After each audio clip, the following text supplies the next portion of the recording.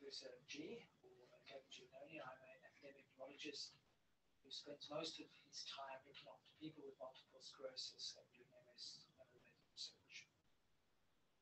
I just want to thank you for signing up and participating in our upper limb and hand rehabilitation study called Under and Over.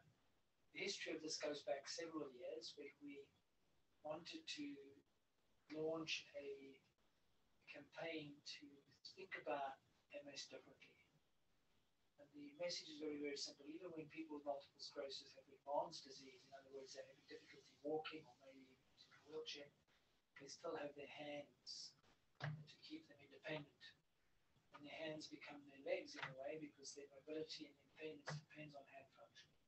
The problem with multiple sclerosis as it advances, hand function may deteriorate. Some people may notice that their dexterity or power is weakening or going off, for example. And the idea came, why don't we exercise these and make them work harder? And the brain is very, very clever. It rewires itself and it's plastic and adapts to change. And this motto is if you don't use it, uh, you lose it. And it's part of rehabilitation. You can ask any professional musician or any professional sports person they don't practice and do the task and do the skill every single day, hours and hours a day, they lose the ability to perform at a very high level. It applies to everything in terms of functional. If we don't do this every single day, our hand function deteriorates. So the whole idea of the Under and Over is to give you a tool that we think is enjoyable, okay, to use your hands and, and to make it work. And by doing that, you're training not only the muscles in the hand, but also the center that coordinates the function and also the uh, cortex, the surface of the brain, to rewire itself to maintain upper limb function. So please don't give up on this. Let's show that it works, and if it works, it can change trial design forever. Because one of the things we haven't added into our MS trials, both for protecting function and maybe even restoring function, is neurorehabilitation.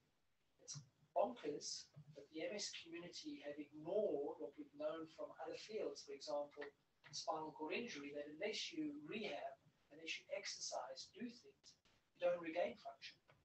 And so this is what's underpinning this uh, under and over uh, research project is by using your hand on a repetitive basis, challenging yourself to do this sometimes very difficult task, maintaining and improving hand function. So thank you. And what you're doing is really important, and we hope that it changes um, trial paradigm and the way we uh, manage multiple sclerosis and how we will do trials in the future. Please keep going, and we look forward to seeing the results.